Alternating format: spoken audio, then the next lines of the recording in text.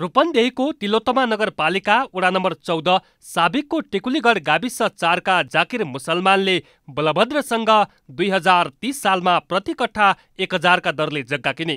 त्यो बेला जाकिरसँगै देवीदत्त पौडेल वीरबहादुर खत्री रामसुरत केवट र जयलाल सुवेदीले पनि आठ बिघा पन्ध्र कट्ठा सात धुर जमिन किनेका थिए।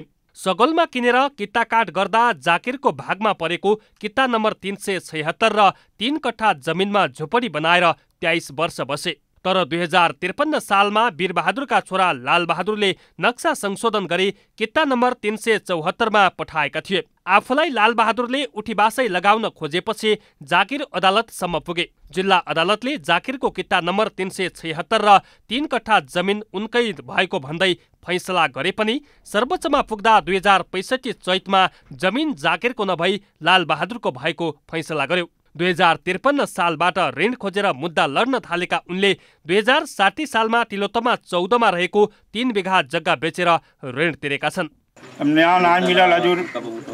कबो बुटबल कबो भैरहवा कबो काठमांडू कबो सेडियो में कहीं कहाँ कहीं कहाँ हजूर एकदम दौड़ा दौड़ा तबाह हो गई अपन धन धन और संपत्ति सब ओराई बीघा खेत बेच के सब खत्म कर नापीले सर्वोच्चमा नक्सा पठाउँदा जाकिरको किता नम्बर तिन सय छयत्तरको जमिन भएको ठाउँमा किता नम्बर नौ सय पैँतिस नौ सय चालिस र नौ सय एकचालिस भएको देखाएको छ।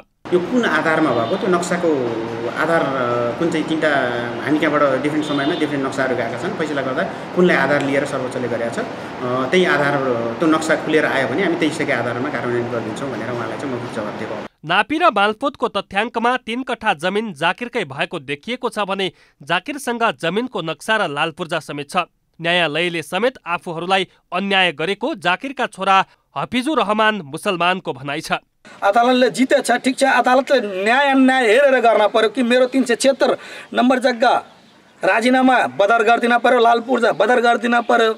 नबदर गरिकन त्यत्तिकै अर्काको सम्पत्तिमा देखाइदिएछ तर त्यो साबिक किता देखाएको छैन लालपूर्जा राजीनामा नक्सामाथि देखाइदिएछ। जाकिरले विवादित जमिनको दुई हजार तिस सालदेखि अहिलेसम्म तिरो तिर्दै आएका छन्। रूपन्देहीबाट विकास पराजुलीको रिपोर्ट।